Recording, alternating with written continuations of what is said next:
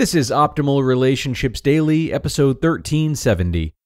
Five Signs the Divorced Man You're Dating Has Long Term Potential by Melissa Josue of melissathelovecoach.com. Hello, everybody, and welcome to ORD. I'm Greg Audino, your host. Nice to have you here for the beginning of a new week, and I appreciate you starting it with us and the betterment of your relationships. Today, we'll be hearing a post from Melissa Josue who's going to provide signs that the divorcee you're dating has long term potential. So let's get right to it and optimize your life. Five Signs the Divorced Man You're Dating Has Long Term Potential by Melissa Josue of melissathelovecoach.com. I know that a lot of the articles on this site deal with red flags and relationship problems, and my general philosophy is that long term potential in a relationship is really based on what matters to you, what makes for a happy, fulfilling relationship in your world. Your relationship requirements will be different from your friend's relationship requirements. With that said, there are some signs and characteristics that demonstrate healthy relating. These characteristics are good signs that your man has keeper potential. But don't use this as a checklist to determine whether or not he's right for you or whether or not he's marriage material or anything like that. Deciding whether your partner is right for you should be based on your whole experience of him, not based only on whether these particular qualities are present. But if these particular qualities are present, that's great. The purpose of dating is really to get to know someone and experience them. However, depending on how long you've been dating your partner, you may not have had the chance to get to know him yet in some of these ways. It takes time to experience someone but maybe there are clear indications from your experience with him, for example, on whether or not he shows respect or whether or not you share the same life values. I remember years ago, I was out to dinner with someone with whom I was dating at the time, and he was so rude to the waiter who was serving us. He was sarcastic, belittling, he was totally disrespectful. So much that I was embarrassed to be dining with him. I wanted to hide, and I felt really bad for the waiter. Needless to say, that experience left me with a bad feeling, and I didn't continue to see this person. So, look at your relationship objectively when you consider this list of signs, and really tune into your intuition and your experience of him to determine whether or not he truly demonstrates these qualities and characteristics. He's an open book. If he's an open book, this is a man who is willing to share with you and answer any questions you may have about him in his life. He wants you to get to know him, from the reasons behind his divorce to the ways in which he's learned and grown from his past, he is willing to talk about and discuss even some of the most difficult aspects of his previous relationship, and he values communication and sharing. This is very different from someone who talks so much about his previous relationship that it feels toxic to be around him. When he's an open book, he's sharing with you because he cares about your concern. His sharing is not about trying to get you to side with him or feel sorry for him or making you feel responsible for cheering him up or making him feel better about himself. Being an open book means that he's sharing from an authentic place with no agenda, other than to deepen his trust and relationship with you in a healthy way. It's also the sign of a man who feels he has nothing to hide. He sets appropriate boundaries. Your partner may still have some strings attached to his ex despite being divorced. Maybe they share investment property, or maybe they have kids. He's going to have to interact with the mother of his children for various reasons relating to his children's care. If they share investment property, they might have business to discuss regarding the property. Also, often because of childcare, your partner and his ex wife will have to trade off on taking care of the kids. In a perfect world, your partner's schedule and his ex's schedule are predictable and easily managed.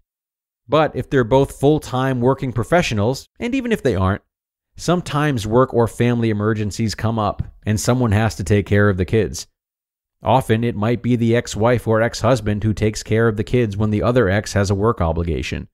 But sometimes one ex might try to take advantage of or put undue responsibility on the other ex out of anger or bitterness, or just wanting to give the other person a hard time. Or maybe his kids are disrespecting you in some way. Or maybe his ex still carries a torch for her ex husband and she calls him just to talk, but it's not related to business or the kids. It's fair to want some boundaries there. And if your partner recognizes when other parties have crossed a line, or when other parties are not respecting boundaries. Sometimes it takes telling your partner about things that concern you. He might not always see if something is not right in your book. And he works to address your concerns or make sure that his ex and his kids honor those boundaries. You have a man who really values and respects your partnership.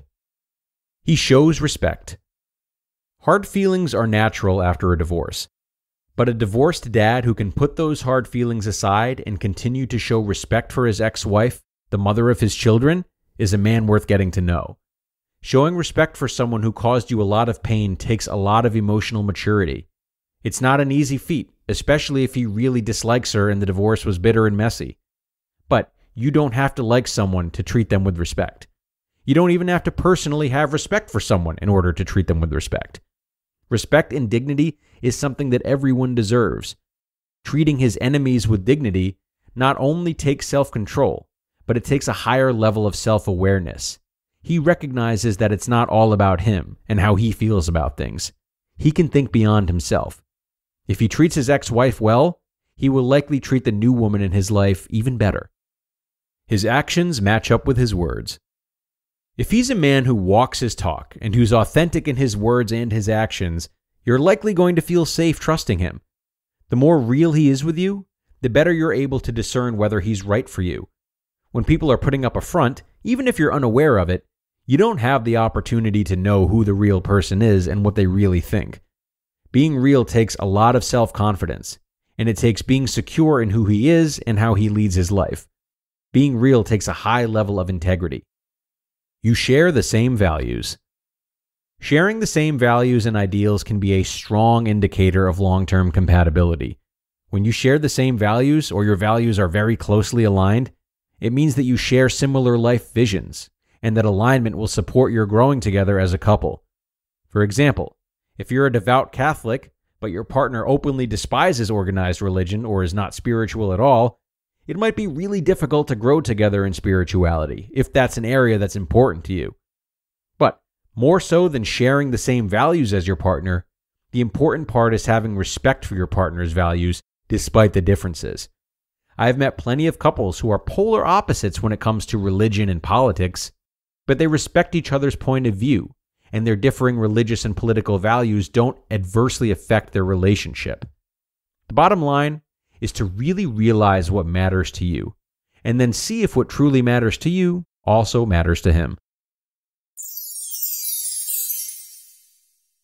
You just listened to the post titled, Five Signs the Divorced Man You're Dating Has Long Term Potential by Melissa Josue of melissathelovecoach.com. And thanks so much to Melissa for this post. Certainly full of guidance that can be applied to relationships you might be having with people who aren't divorced as well, mind you. I'd also like to encourage you to not only be mindful of whether or not your dates are showing you these signs that she's provided, but whether or not they're making efforts towards them. Now, these are wonderful guidelines, but we also want to pay respect to the fact that we're all works in progress, which can be especially true after a divorce. So, especially when it comes to things like being an open book, it can take time. Certainly when we're in recovery, do we want to be weary of falling in love with someone's potential? Sure, that's not really ideal. But we can split the difference by seeing how much effort someone is putting into becoming a better partner, a better person, especially after having open conversations with them about unmet needs we might have. All right, friends, that's going to bring us to the end. Another one in the books, and I thank you for being here. I hope you have a great start to your week, and I will see you again tomorrow for another post where your optimal life awaits.